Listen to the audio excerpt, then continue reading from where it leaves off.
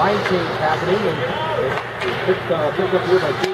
Right, bring it up the left side. Here's Connor Smith. Pass over. Beautifully done.